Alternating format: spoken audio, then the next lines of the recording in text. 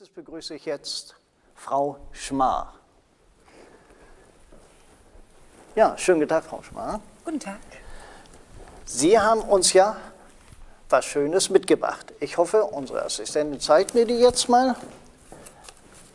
Ein Pärchen. Wir sehen ja hier im Hintergrund schon eine Vase. Eine wird uns jetzt hier gezeigt.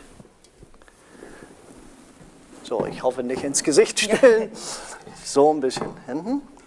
Das sind diese, Vasen. Ja, wo haben Sie die denn her? Erzählen Sie mal Ihre Geschichte.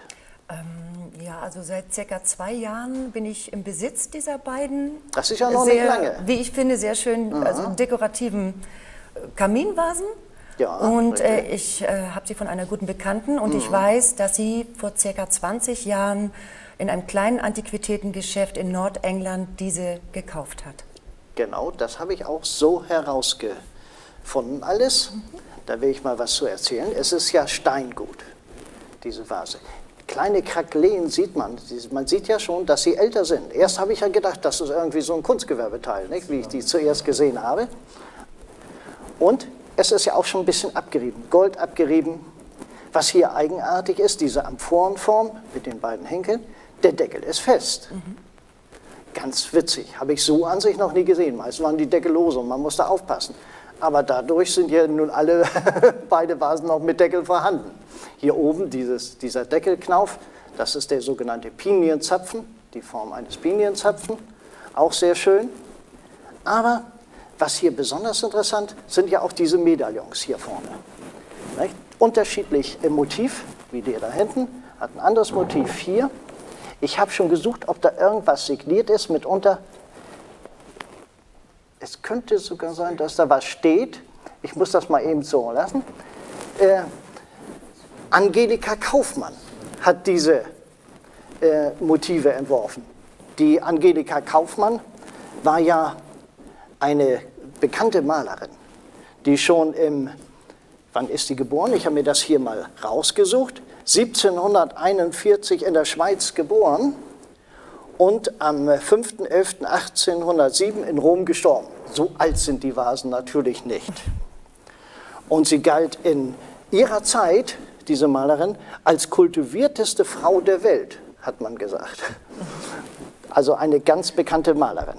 Und dass sie jetzt aus England kommen, wir haben ja, ich habe die ja schon mal vorher gesehen, und äh, da habe ich gesagt, sie könnten ja auch aus Österreich kommen, sie können aber auch aus Frankreich kommen. Aber jetzt bin ich auch überzeugt, dass sie aus England kommen. Und äh, das liegt daran, dass diese Angelika Kaufmann sich ab 1766 insgesamt 15 Jahre in England aufhielt und dort auch sich einen äh, Namen machte. Also klar. Und in Erinnerung an diese gute Malerin hat man dann diese Motive auf den Vasen mit heraufgebracht. Ist natürlich nicht handgemalt, sondern es sind so eine Art wie Abziehbilder. Ist das. Und äh, ich finde die Vasen ganz ausgezeichnet. Dekorationsvasen. Wer keinen Kamin hat, kann die ja woanders hinstellen. Aber in England ist es gedacht worden, auf den Kamin zu stellen, auf den Kaminsims. Und da standen die ganz gut. Sie konnten ja Hitze ab. Das ist schon eine ganz, ganz gute Sache. Vor allen Dingen sind sie alle doch gut erhalten. Nicht bestoßen, beschädigt, kein Riss weiter. Ist wirklich gut. Ich zeige die mal von unten. Eine Marke haben wir nicht gefunden. Hier sieht man, das könnte nur eine Malerkennzeichen sein. Malermarke sagt man dazu, die schwarze hier. Aber sonst haben wir da nichts finden können. Aber es tut auch nicht nötig. Wir wissen, sie stammen aus der Zeit so um 1920 und aus England.